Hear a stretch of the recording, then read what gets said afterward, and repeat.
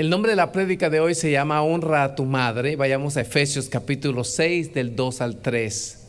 Honra a tu madre y a tu padre, que es el primer mandamiento con promesa para que te vaya bien y seas de larga vida sobre la tierra. Si pueden poner allí el versículo bíblico. Eh, los diez mandamientos para nosotros es como la carta magna los diez mandamientos para un cristiano son las diez leyes por las cuales tenemos que regir nuestra vida eterna y permanentemente. Y de esos diez mandamientos, Dios escogió uno que tiene promesa. Y ese mandamiento con promesa es honra a tu madre y a tu padre. ¿Por qué Dios eligió que de esos diez mandamientos tan importantes, cada uno de ellos, solo uno esté acompañado con una promesa, porque dice que el que honra a su padre y a su madre va a tener salud, va a tener larga vida y va a ser próspero. Porque para Dios la honra es muy importante. Yo quiero que pongan atención todos, si eres cristiano, si eres hijo de Dios, déjame decirte que la honra es muy importante para Dios. ¿Puedes repetir eso conmigo? La honra es muy importante para Dios. Antes de continuar, quiero establecer tres verdades acerca de los padres, nuestra madre, nuestro padre. Número uno, cada padre y madre tiene faltas. Nuestros padres no son perfectos. Número dos, tú no estarías acá si no fuera por ellos. Indiferentemente si fueron buenos padres, regulares padres, malos padres, lo que importa es que te trajeron al mundo. Eso es lo más importante. Y número tres, Dios usó el ADN de tus padres para hacerte único aquí en la tierra. Salmo 139, leamos todo desde el 13 al 16, si lo pueden poner ahí, por favor.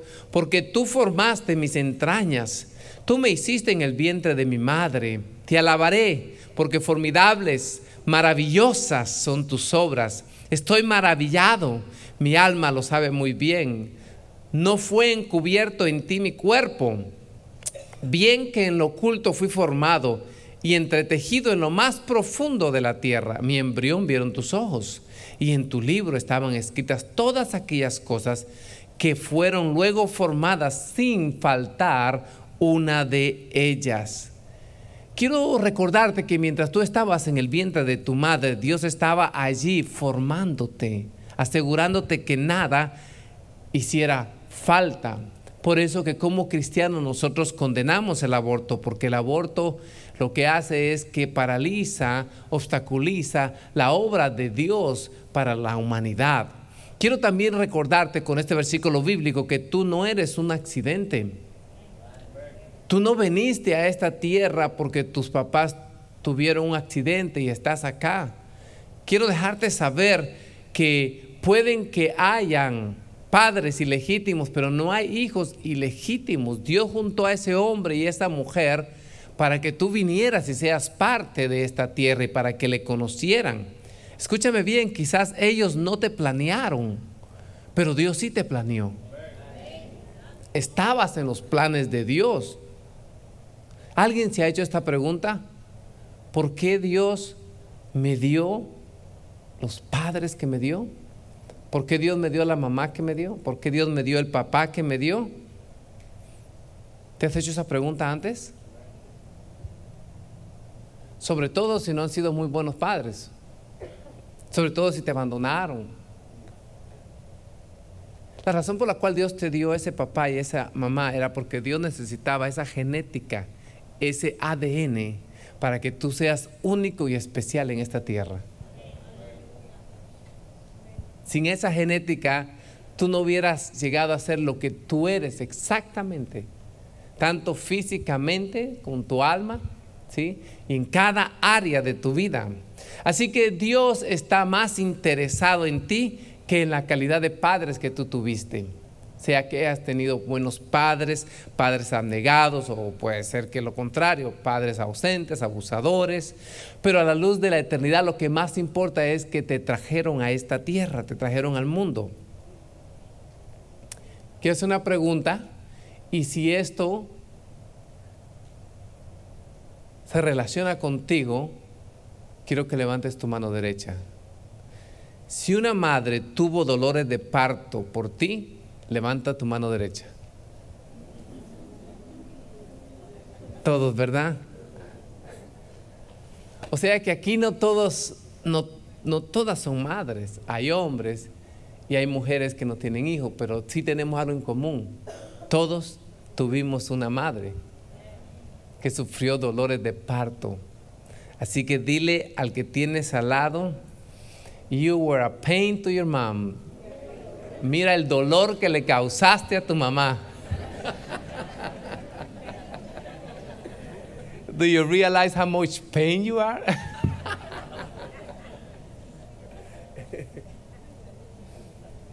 Entonces, ¿cómo honro a mi mamá por el resto de mi vida?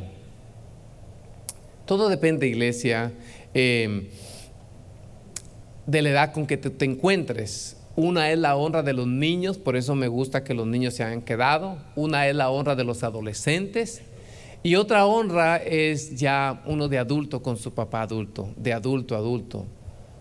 ¿Cómo honro a mis padres por el resto del mundo? Dependiendo de la edad. Número uno, ¿qué dice la Biblia? Que debo honrar a mi padre, o sea, a los niños que están, hey kids, you're out there. This is what the Bible tells, tells how you honor your mom. Are you paying attention, kids back there? As a children. Dice obedeciendo. This is the way you're going to honor your mom and your dad. Obeying them. Obedeciendo, siguiendo los consejos, siguiendo sus direcciones, atendiendo a sus mandamientos.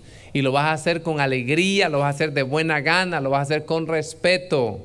Efesios 6.1 dice, hijos, obedeced en el Señor a vuestros padres, porque esto es justo. Tenemos que enseñar la justicia a nuestros hijos desde pequeñitos, porque la Biblia dice, busca el reino de Dios y su justicia y todas las demás cosas serán añadidas.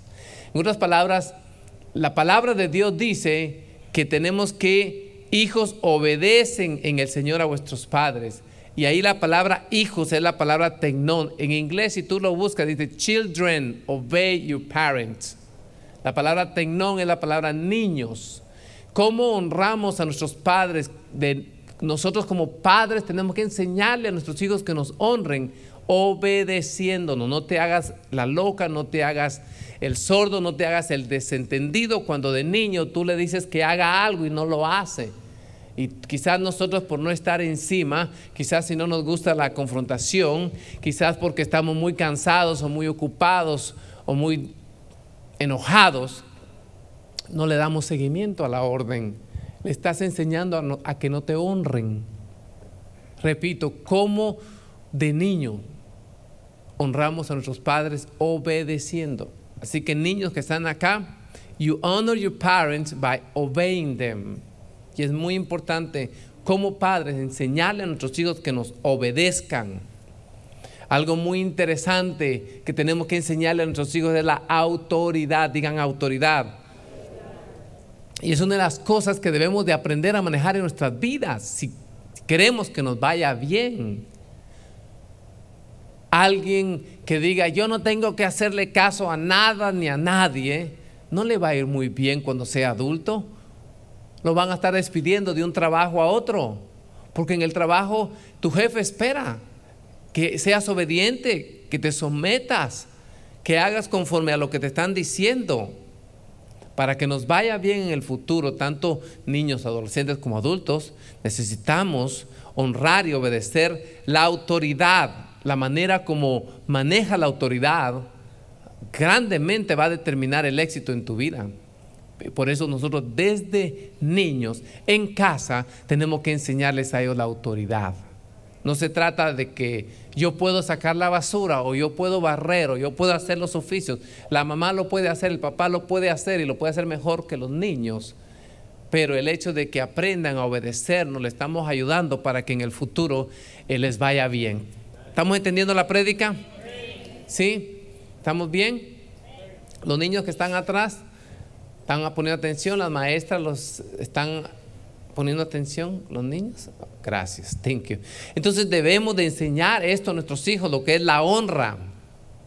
Escúcheme bien, iglesia. No tenemos excusa delante de Dios para no honrar la autoridad. Quizás el tipo en autoridad sea un tonto, sea un idiota. Hablando de un policía, que quizás te pare injustamente, quizás es bien pedante, pero porque es autoridad, porque respetamos la autoridad y honramos el puesto que lleva, tenemos que obedecer.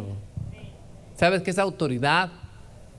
Es hacer aquellas cosas que no quieres hacer, pero las tienes que hacer porque alguien con autoridad te las está pidiendo. Autoridad no es otra cosa que hacer algo que no quieres hacer porque alguien que está puesto por Dios como tu autoridad te está pidiendo que las hagan. O sea, muchas veces no nos va a gustar lo que nos pide nuestra autoridad, pero tenemos que hacerlo porque Dios nos está pidiendo. Hay tres tipos de autoridad que la Biblia nos llama a obedecer. Número uno, en nuestra casa, nuestros padres. Yo me siento con mis hijos y le digo, este es el orden de autoridad que Dios manda. Primero está el hombre como sacerdote, Dios me puso como autoridad. Después está tu mamá. Número tres está Carolina porque es la más grande. Cuatro está Jessica. Quinto está Miriam. Sexto está Joshua y séptimo los perritos. Entonces le digo, Miriam, tú tienes que obedecer a tus hermanas mayores. Así me enseñaron a mí a obedecer a mis hermanos mayores. Yo no les falto el respeto. Mira que yo soy pastor. Y cuando yo voy a Guatemala, la gente que ha visitado conmigo, yo respeto a mis hermanos. Yo no los trato, hazme esto, aquí allá. No, los trato como que son mis hermanos mayores. Porque esto agrada a Dios. Entonces tenemos que primero respetar, obedecer las autoridades en el hogar. Número dos, en la iglesia los líderes que Dios ha puesto, los pastores. Y número tres, en las autoridades seculares, la policía, los jueces, los maestros, las personas que dirigen el orden, sea en el trabajo, sea en cualquier lugar. ¿Estamos acá? Repito, el niño que crece con la mentalidad, nadie tiene que decirme lo que debo de hacer, es una receta para desastre cuando sea grande, porque si no respeta la autoridad, si no respeta el policía, ¿qué va a hacer el policía? Te va a poner las esposas y te va a llevar preso, así de fácil. Si no respetas al juez mientras está escuchando tu caso, vas a agarrar el martillo y te mete, la, te mete en la cárcel. Y es una de las cosas que tenemos que enseñarle constantemente a nuestros hijos. Hello, ¿sí? Respetar la autoridad, obedecerla, aunque no te gusta. Si yo te digo, nos, vemos, la vez pasada tuvimos un servicio extraordinario y terminamos con un bang, ¡pow! y las personas contentas. Y me despedí.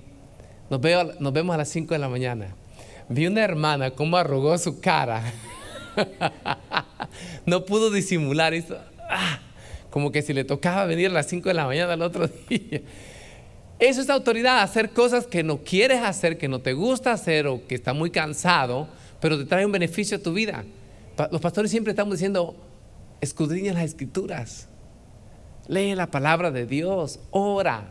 Queremos verte en más de un servicio a la semana. ¿Estamos acá? Entonces, como adolescente, ¿qué dice la Biblia? ¿Cómo yo debo de honrar a mi madre como adolescente? De niños es que obedeciendo. Como adolescente, teenagers. What does the Bible say about you honoring your mom and your dad? ¿Qué es lo que dice la Biblia? ¿Cómo debemos de honrar a nuestros padres como adolescentes? Respetándolos, respecting them. Levítico 19.3 dice, cada uno de ustedes debe respetar a su madre y a su padre. ¿Lo están viendo? Lo dice la Biblia. Cada uno de ustedes debe respetar a su padre y a su madre. Y lo vemos nuevamente en Hebreos 12:9. Por otra parte, tuvimos padres terrenales los cuales nos disciplinaron y los respetábamos. ¿por qué no mejor obedecer al Padre de los Espíritus y así vivir? So, adolescentes que están aquí, teenagers, respect your parents. I know as a teenager, as a young adult, you realize long time ago that your parents are not perfect, that they have flaws. Sometimes you realize that their, you know, their marriage is not the best. Nevertheless, you need to obey them. Sometimes because you're a teenager and because you see flaws in your mom or your dad, you have the tendency not to listen to them. But let me tell you something. They might not have the best communication with your dad, or your mom might not, might not, might not be the best mom or your dad. Nevertheless, what they tell you to do, you got to do it. The counsel they give you, you obey them. Le decía a los jóvenes adolescentes que muchas veces porque ellos ven las faltas en nuestro matrimonio, porque ya se empiezan a dar es más, de adolescentes, lo único que ven son nuestras faltas. Eso no les da permiso para no obedecerlo, porque dicen, no, porque tú peleas con papá. O a la mamá, cuando la mamá le dice, obedéceme. Tú dices, sí, pero tú no obedeces a papá, porque los adolescentes son bien listos. Déjame decirte que el reloj, un reloj que esté roto, aún va a dar la hora dos veces al día cabal. Entonces, el hecho de que papá o mamá no tenga un matrimonio perfecto o no sean perfectos no significa que no tienes que obedecerlo. El consejo que te van a dar siempre es perfecto. Aunque tu papá haya sido alcohólico, aunque haya dejado a tu mamá, aunque te haya abandonado, siempre tienen ese don de padre de dar consejos. So esa no es una excusa para no honrarlo. Are we here? Seguimos.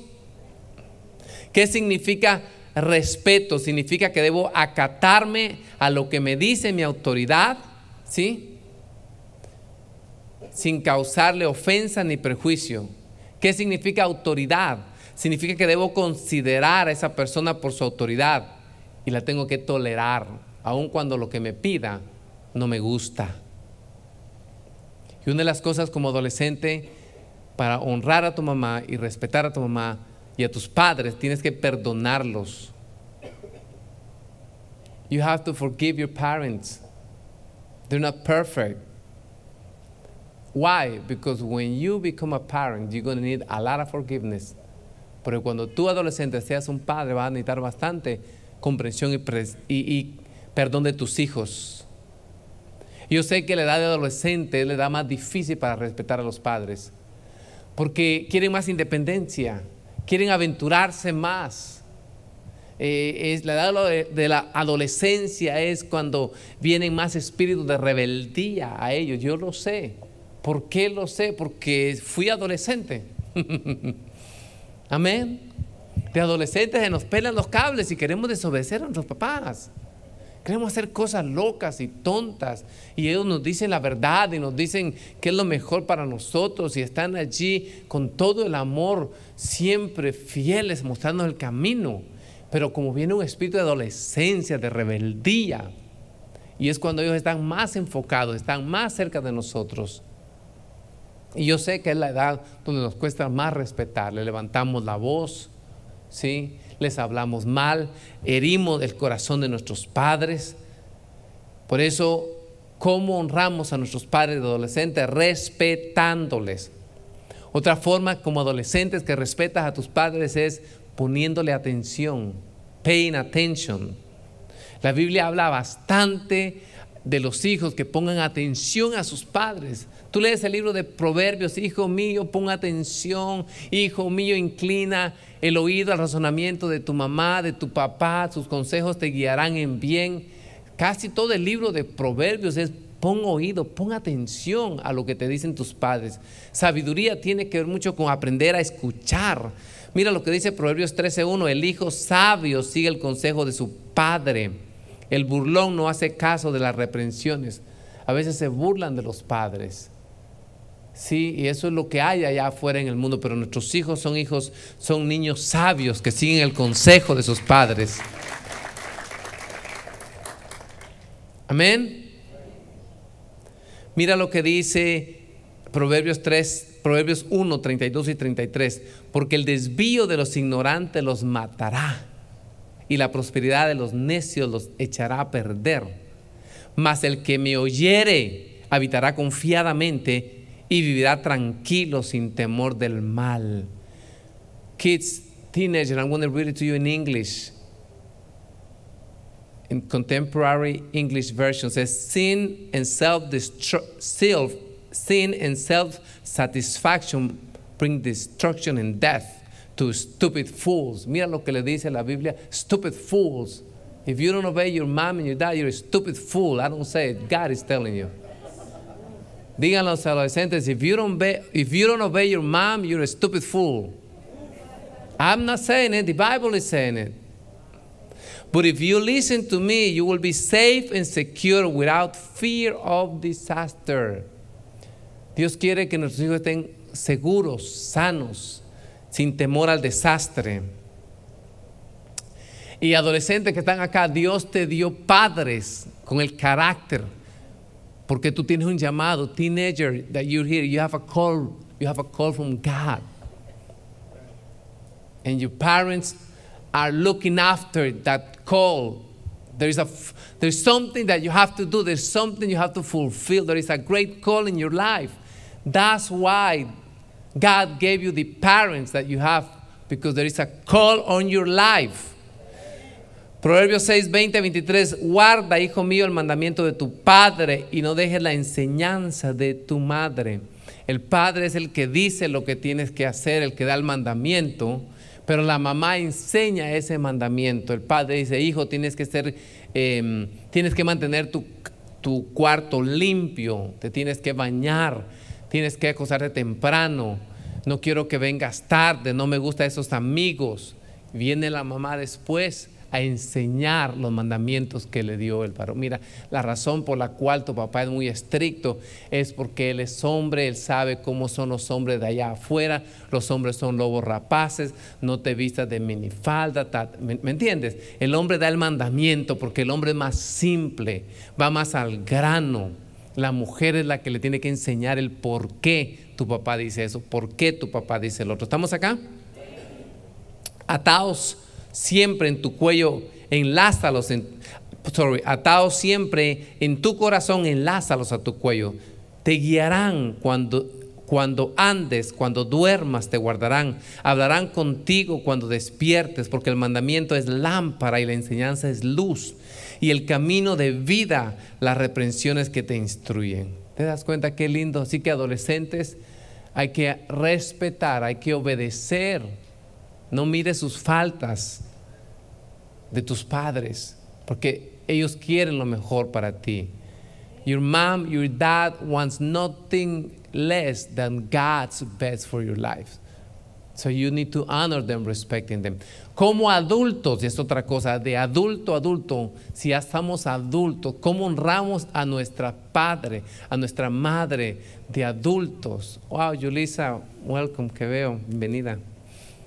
Eh, como adultos, ¿cómo vamos a honrar a nuestra mamá, a nuestro papá? Porque ya es otra relación de adulto a adulto.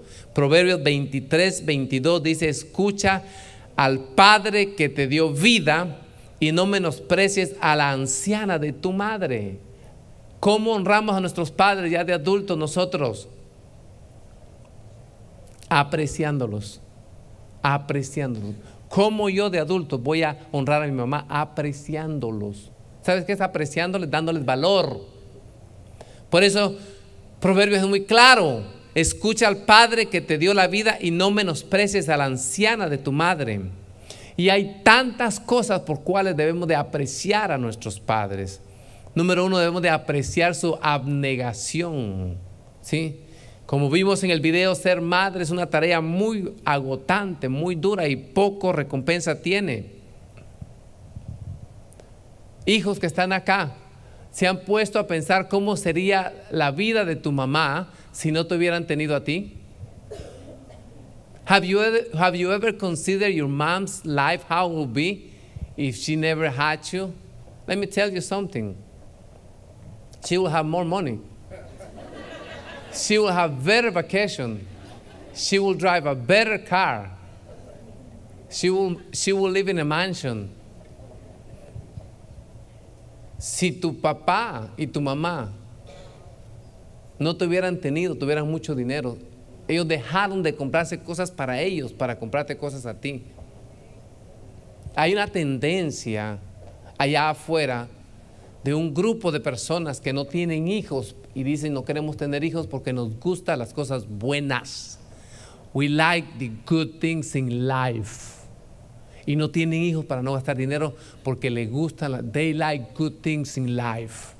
Les gustan los buenos carros, les gustan los buenos hoteles, les gustan los buenos restaurantes. Y si tienen hijos, ya no van a tener dinero para darse la buena vida de millonario. Es un concepto bastante egoísta, pero existe. Y hay personas que no tienen hijos para no gastar su dinero pero eso no fue el caso tuyo. Tu mamá te tuvo, tu papá te tuvo y han gastado mucho dinero por ti. Yo he estado estudiando y uno de los reportes más certeros dice que un niño a los 18 años le cuesta a su padre 250 mil dólares. $250,000 when you're 18 years old. That's what it costs to have you. Y eso es sin incluir cuando vienen a visitar.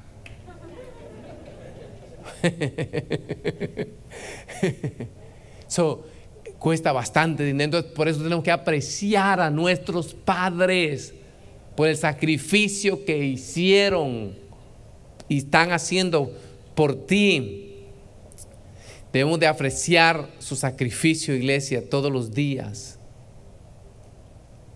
Por causa tuya, because of your fault, in her wallet, in your mom's wallet, because you are born where it used to be money, now there are only pictures of you. Por culpa tuya, en la cartera de tu mamá, donde había billete y cash, ahora solo hay fotos tuyas. Estás dejando a tus padres en quiebra. Pero a ellos no les importa. Y lo único que piden tus padres es obedece. Obey. Respeta, honra. Estamos recibiendo algo esta hora, el Día de la Madre. Esta prédica nos está bendiciendo a todos. Proverbios 23, 25, Dios habla hoy. Haz pues que tu padre y tu madre se sientan felices y orgullosos. Es un mandamiento para tus hijos, para nosotros los hijos. Haz pues que tu madre y tu padre se sientan felices y orgullosos.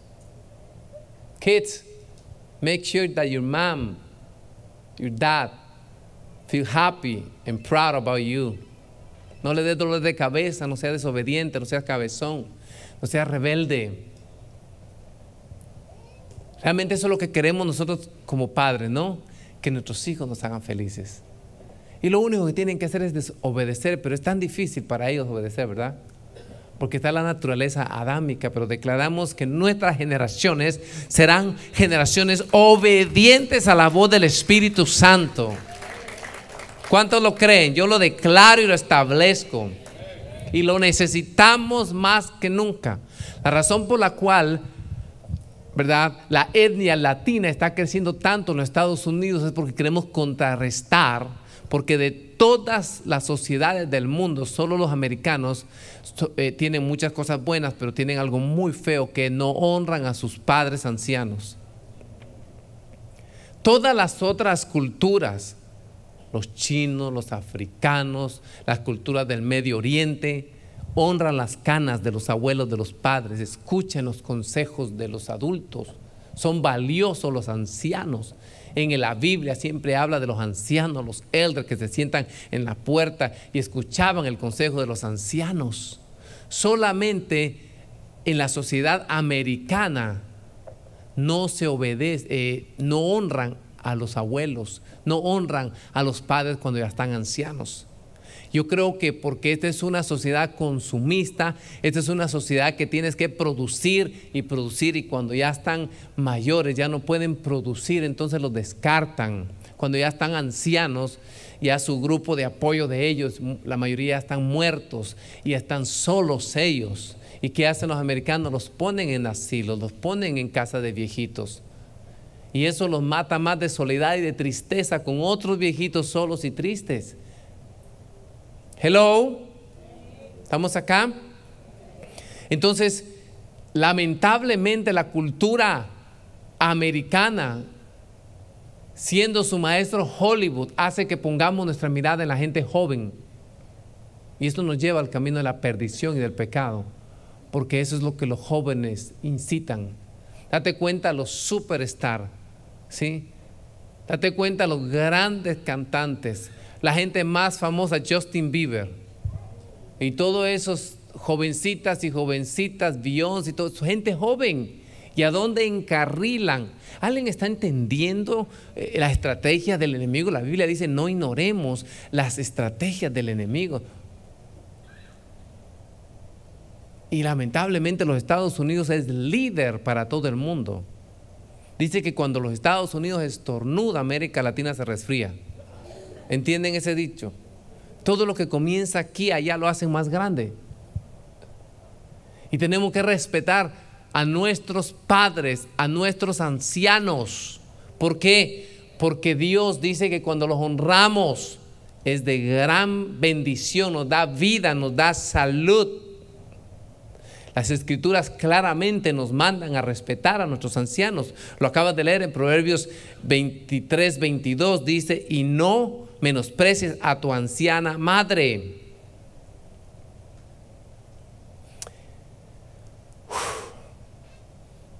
¿Cómo honramos de adultos nosotros a nuestros padres siendo ya adultos?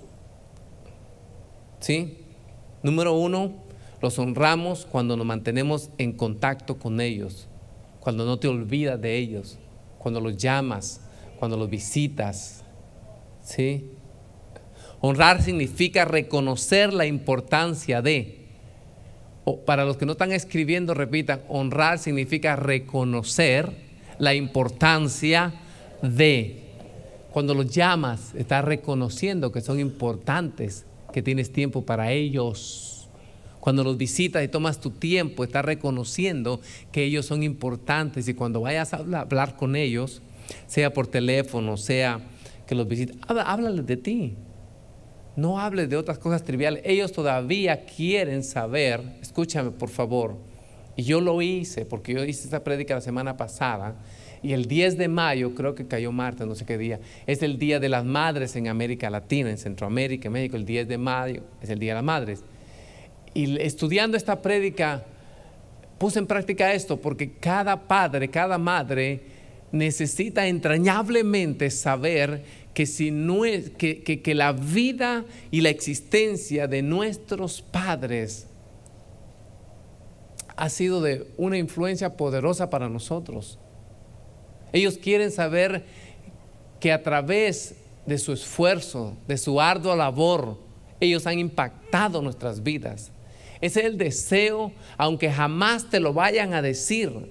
¿Sí? Ellos quieren saber si hicieron un gran impacto en tu vida y tú necesitas dejárselo saber.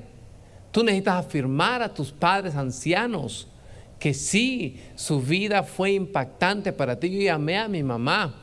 Le dije, mami, por usted yo tengo estas cualidades, las otras cualidades, no, no, no, no, me, no me doy por vencido, sigo luchando, soy tenaz, igual que usted, persisto y, y la afirmé. Hello. Entonces, ¿cómo podemos honrar a nuestros padres siendo adultos nosotros? Dígame. No menospreciándolos. Número dos, llamándolos, visitándoles, porque eso le dejamos saber que ellos son muy importantes para nosotros. Y número tres, como adulto, ¿cómo yo puedo honrar a mis padres? La Biblia dice proveyendo económicamente. Proveyendo económicamente. Pastor, me está hablando, no entiendo. Dale dinero. Te lo pongo clarito. Porque los roles se invierten. De niños, ellos te daban dinero a ti. ¿Sí o no? Ahora de adulto, tú tienes que darle dinero. De niño, ellos te cuidaban. De adulto, tú los tienes que cuidar a ellos. ¿Sí? Yo agarré la compañía de Zoom, ¿han visto? X o M. Y ahí mismo hago en mi teléfono, le hago zoom así, zoom. Y le envío una ofrenda a mi mamá el Día de la Madre. Y la llamé a decirle que su vida había tenido un gran impacto en mí. Y eso, déjeme decirte, iglesia, que los llena. Los llena. Le llena su tanque emocional por lo menos unas dos semanas.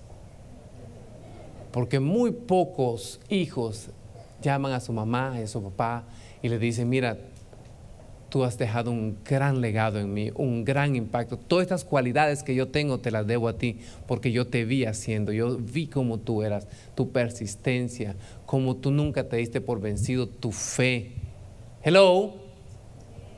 Míralo. Entonces, iglesia, eh, ¿quiénes deben de cuidar de las ancianas cuando han enviudado y no tienen hijos, ni sobrinos, ni un familiar que la cuiden? ¿Quién? De las ancianas que están solas, la iglesia. Primera de Timoteo 5, 2 al 4 dice, a las ancianas trátalas como a tu propia madre y a las jóvenes como si fueran tus hermanas con toda pureza. Ayuda a las viudas que no tengan a quien recurrir. Pero si una viuda tiene hijos y nietos, ellos son quienes primero deben aprender a cumplir sus obligaciones con lo de su propia familia y a corresponder al amor de sus padres, porque esto agrada a Dios.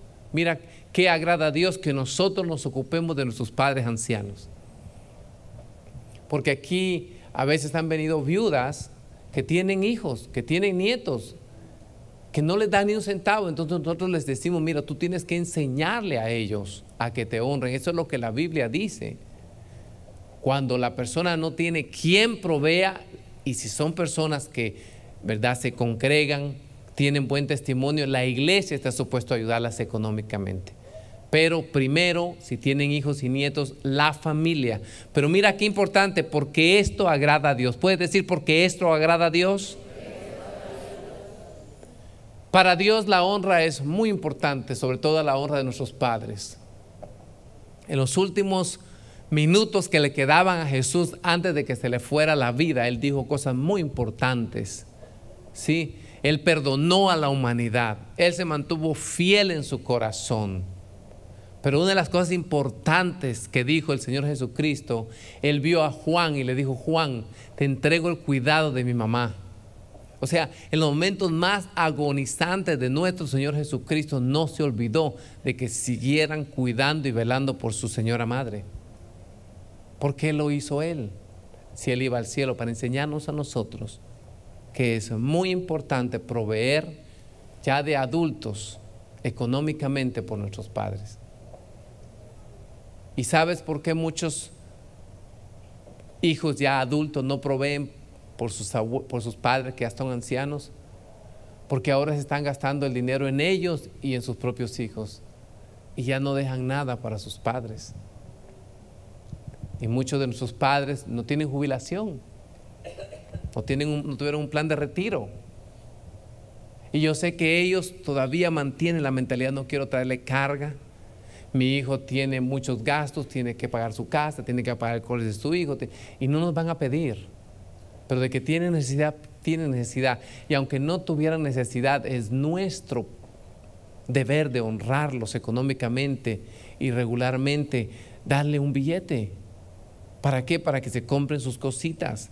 No, que se lo va a gastar en los nietos, que se lo gasten los nietos, pero eso le da satisfacción a ella.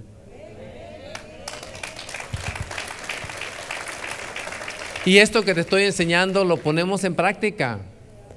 Recientemente mi esposa le dijo, mira, quiero mandarle dinero a mi mamá que está en Guatemala, ay, perdón, en Perú, tiene seis meses la mamá. Yo le dije, ya. ¿Cuánto le mando? Yo le dije tanto. Yo sé que yo dije el doble de lo que ella pensó, porque le vi su mirada así contenta. ¿Cuánto conocen a las esposas? Entonces a veces se vuelve un gran pleito porque quiere mandarle más a la, suegra que a la mamá. Iglesia, que eso no se vuelve un pleito. Ambos son importantes, porque si no hubieras sido por tu suegra, Fermín, no hubieras tenido a tu esposa ni a tus hijos. Dale, un besito ahí, eso, a eso, me permitas en el espíritu. O sea, tanto nuestra suegra como nuestra madre son igualmente importantes. Porque si no hubiera sido por ella, no hubiéramos tenido la esposa o el esposo o los hijos que tenemos. Entonces dejemos de tonterías. Hello. Esto es fuerte. 1 Timoteo 5:8. Porque si alguno no provee para los suyos y mayormente para los de su casa, ha negado la fe y es peor que un incrédulo. Esto es fuerte, iglesia. Cristiano no es venir a la iglesia y papalotear y hablar en lenguas y decir que yo soy evangélico y pertenezco a tal iglesia. El que no provee a los suyos ha negado su fe. ¿Te das cuenta lo importante que es la honra para Dios? Lo incluyó en los diez mandamientos. Jesús agonizando lo incluyó. Es el mandamiento con promesa. Y dice, el que no provee para los suyos ha negado la fe y es peor que un incrédulo. Hay padres cristianos que se divorcian y no proveen para sus hijos, sus hijas. Eso no son, para mí no son cristianos. Discúlpeme, iglesia. Cuando yo me convertí, todo el que me decía que era cristiano o iba a una iglesia, yo lo abrazaba como que si fuera un hermano. Ahora me dicen que es cristiano. No es, para mí ya no es un gran impacto, porque ya he definido que es un cristiano. Mi estándar de cristiano es diferente como cuando yo me convertí. Cristiano no es alguien que viene a una iglesia evangélica. El estar en, este, en estas cuatro paredes no te hace cristiano. El meterte en un garage no te hace automóvil. ¿Me entendiste? Entonces el proveer para los nuestros es un verdadero cristiano.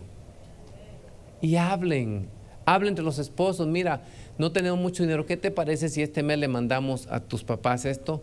¿Y qué te parece si el otro le mandamos a nuestros papás esto? Y pónganse de acuerdo, no sean envidiosos. Porque eso es honra y va a traer bendición al hogar completo. Se los digo ahorita que estoy en el Espíritu. Amén. Entonces tú honras a Dios, concluyo con esto, tú honras a Dios cuando honras a tus padres. ¿Por qué? Porque Dios usó a esos padres para darte vida, para traerte a esta tierra. Amor se deletrea también con nuestros padres tiempo. Ellos no necesitan tanta plata ni tanto oro, necesitan tiempos ya de adultos. Perdón, tienes que ir a visitar a tu mamá de vez en cuando y llevarle su comidita, llevarle su fritanguita como antes y honrarla. Y tu esposa no se va a poner celosa porque está oyendo la palabra de Dios. Eso, aleluya. Vernon, arrepiéntete. Como esposo, ¿cómo honramos a nuestra esposa siendo madre? Amándola. Amándola. Es interesante la honra, ¿verdad? Las diferentes matices que la honra toma. De niño obedeciendo, de adolescente respetando, de adulto proveyéndole y dándole tiempo, de esposo amándola. La honra es muy importante. Por ejemplo, en el matrimonio de Alejandro Chea y Carmen Chea, la honra es muy importante para ellos. Entonces, ¿cómo el pastor Alejandro honra a la pastora Carmen? Amándola y cómo la pastora Carmen honra al pastor Alejandro. ¿Sabes cómo? Respetándolo. Porque el hombre toma cuando la mujer lo respeta como honra y la mujer toma cuando el hombre la ama como honra. O sea, la honra toma diferentes matices. Pero que es divina, es divina. La honra es de Dios. Y en este día, el Día de las Madres, Dios nos llama a honrar a nuestras madres. Y para algunas personas el Día de las Madres quizás es un día de tristeza por recuerdos no muy gratos. Pero oramos en el nombre de Jesús para que Dios fortalezca tu corazón si el Día de las Madres te trae malos recuerdos a ti y hay tristeza. Oramos en el nombre de Jesús para que el Señor conforte tu corazón. Porque sí, para unas madres que perdieron un hijo, para algunas madres que pueden tener malos recuerdos, el Día de las Madres es, no es tanto de celebración. Pero también nos alegramos con las madres que acaban de dar a luz y que tienen bebitos pequeños y las honramos y oramos para que puedan dormir en la noche.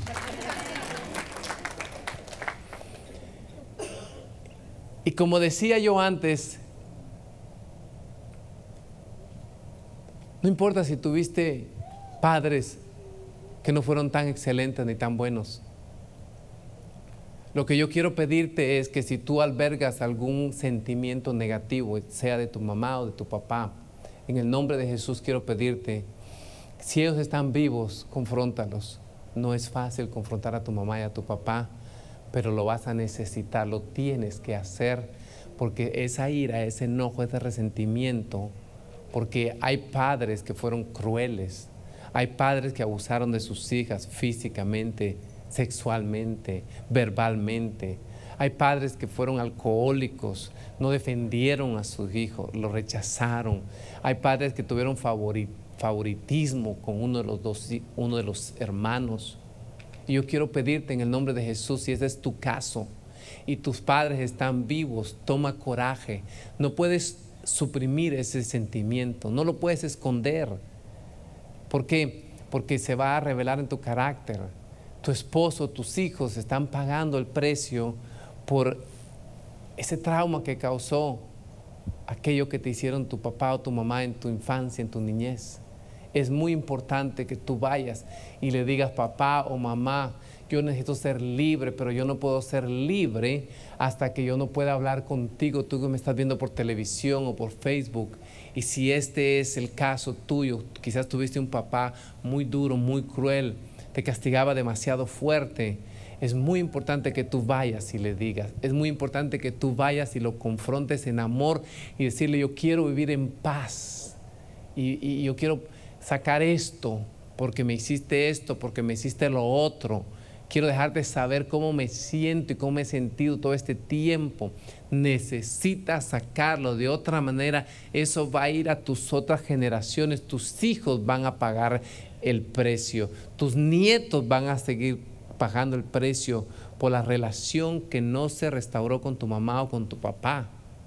Y si ya se murieron, muy importante que tú vayas con tu líder, con tu mentor y que tú abras tu corazón con ellos para que te ministren, porque necesitas honrar a tu papá. Como yo te dije, lo más importante es que Dios usó su genética, su ADN, para que vengas, para que existas en la tierra.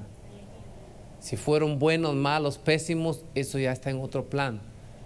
Pero lo muy importante, lo más importante, que tu corazón esté limpio y aunque hayan partido con el Señor o aunque estén vivos, que tú puedas limpiar tu corazón.